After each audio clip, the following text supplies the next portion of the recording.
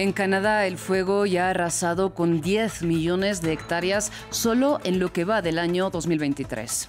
Una superficie récord que abarca todas las provincias del país. En este momento hay más de 900 incendios activos en todo el territorio canadiense. En Guatemala avanza la campaña electoral en medio de la incertidumbre.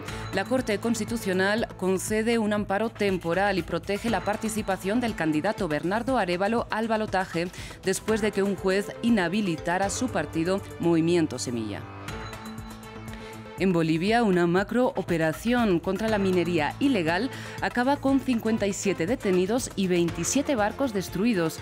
El ejército y la policía llevaron a cabo el operativo por las denuncias de las comunidades indígenas del aumento de extracción ilegal de oro. Bienvenidos a este informativo dedicado a las noticias más destacadas del continente americano. Soy Rosa Pérez Masdeo y es para mí un gusto acompañarlos. Empezamos en Canadá, porque solo en lo que va del año los incendios han arrasado con más de 10 millones de hectáreas, una cifra récord que equivale a una quinta parte del territorio de Francia continental. Mega incendios como este se han multiplicado en Canadá a lo largo de este año. En total, más de 10 millones de hectáreas de bosque y de vegetación ardieron desde enero de 2023, según el gobierno una superficie récord. En este momento hay más de 900 incendios activos en el país. Francia ha enviado a sus bomberos para reforzar a los equipos canadienses en todo el territorio. Los equipos canadienses priorizan las acciones en función de lo que está en juego y de los medios humanos y materiales disponibles. Se puede ver la inmensidad de los incendios y del territorio. Desde enero se han producido más de 4.000 incendios en todo el país. Casi 150.000 personas han sido evacuadas de sus casas.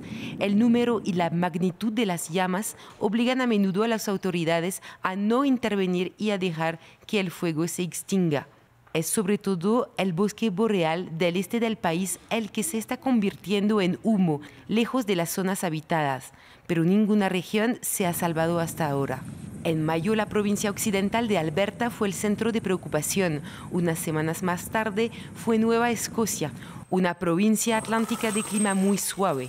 Luego le tocó a Quebec verse envuelta en mega incendios. Desde principios de julio, la situación en Columbia Británica ha dado un giro dramático, con más de 250 incendios declarados en tres días la semana pasada, provocados principalmente por rayos.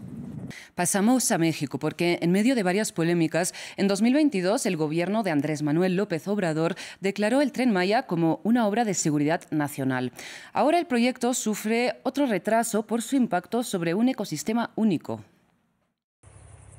El tren Maya vive la última de sus varias polémicas, una más que implica su impacto sobre un ecosistema natural único. Organizaciones ambientalistas han denunciado el relleno parcial del estero de Chac, una lengua de agua que sirve de salida natural a la laguna de Bacalar en el este del país. Cuando llueve, aquí corre el agua en forma natural y fluida.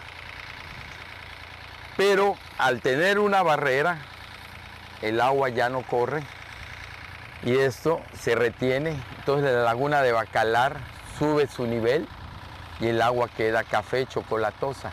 El ejército, a quien responden los trabajadores, ha reconocido los hechos, alegando que se trata de un error en las obras de un puente. La sociedad civil de la zona asegura no estar en contra del tren Maya.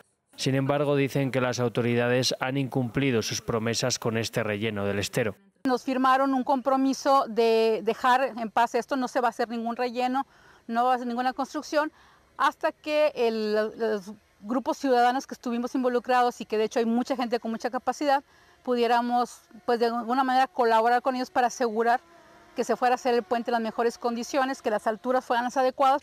El relleno puede afectar también a la economía de la zona. La laguna y el estero son un reclamo turístico. Aquí naturaleza y turismo van de la mano. Los empresarios de bacalar, hoteleros, restauranteros, sí nos interesan nuestros capitales, las empresas y todo. Pero antes de, nos, nos interesa la, la naturaleza que tenemos. Por el momento se han parado las obras. Entre tanto, los vecinos se mantendrán vigilantes mientras llegan a un acuerdo para continuar la construcción. Vamos a Guatemala, donde Bernardo Arevalo volvió a la contienda electoral y celebró la decisión de la Corte de Constitucionalidad de amparar temporalmente su participación en el balotaje. Tras días de tensión, la calma regresa a Guatemala, al menos de manera temporal. Bernardo Arevalo lanzó oficialmente su campaña después de que la Corte Constitucional avalara temporalmente su candidatura como líder del movimiento Semilla y anulara su suspensión para la segunda vuelta presidencial del 20 de agosto. Las decisiones que se tomaron en el Tribunal Supremo Electoral y en la Corte de Constitucionalidad para abrir la luz y permitirnos seguir adelante con la campaña han abierto la puerta para que los corruptos entiendan que este es el fin de sus tiempos. Arevalo dio una gran sorpresa durante la primera vuelta de las elecciones generales del 25 de junio. Su nombre no figuraba entre los primeros en las encuestas, pero se ubicó en el segundo puesto de las votaciones con un poco más del 12% de los votos. La tensión inició cuando el Tribunal Electoral oficializó los resultados de la primera vuelta, con 17 días de retraso y unos minutos después, un juez, a petición de la Fiscalía, invalidó a Arevalo para la segunda ronda de votaciones, encendiendo las alarmas tanto en Guatemala como en la comunidad internacional. El inesperado éxito electoral de Arevalo refleja una de las principales preocupaciones de los guatemaltecos. La lucha contra la corrupción que azota al país es una de las banderas de su campaña. Vemos que han habido 75 años que nos han alejado de la democracia, que nos han robado la dignidad. Lo mínimo que esperamos es en que ya no haya más persecución contra defensores de derechos humanos. Ahora, Arevalo enfrentará a la ex primera dama y abanderada al conservadurismo, Sandra Torres, que consiguió el 16% de los votos en la primera vuelta. En otras noticias, en Bolivia la policía detuvo a 57 personas sospechosas de participar en la minería ilegal e incautó y quemó 27 barcos dragas. Concluyó así una operación conjunta con el ejército que duró seis días y que respondió a las alertas de las comunidades indígenas sobre el crecimiento de la extracción ilegal de oro en la región del Beni, en la zona amazónica. Hay una afectación a esta actividad ilícita de más de 1.5 millones de dólares. Hay un total de 57 personas aprendidas, estamos hablando de 54 varones, 3 mujeres.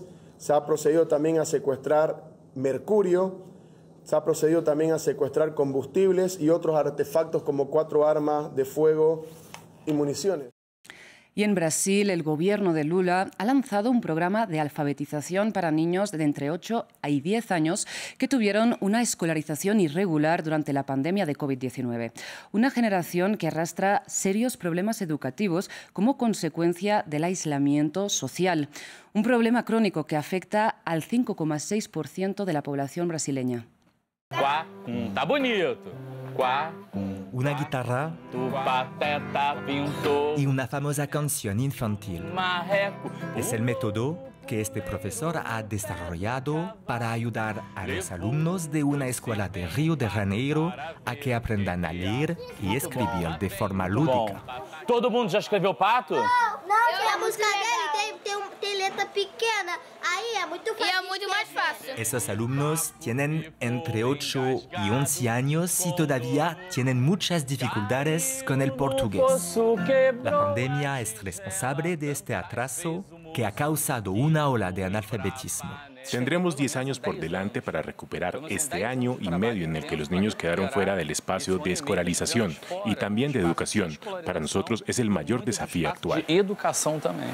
Toca recomenzar de cero a la espera del programa de alfabetización del gobierno, esta escuela se apoya en una ONG.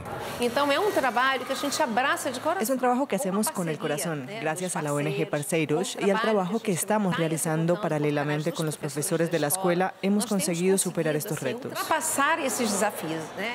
Pero los problemas de alfabetización no afectan solo a los niños. En la Favela Mare, otra asociación enseña a escribir a estas mujeres de entre 25 y 80 años. ¿Qué número es ese?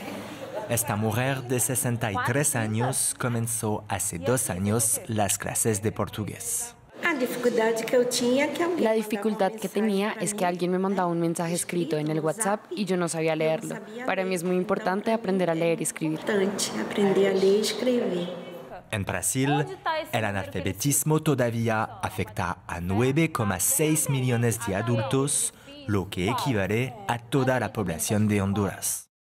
Muchas gracias por su atención. Sigan con nosotros.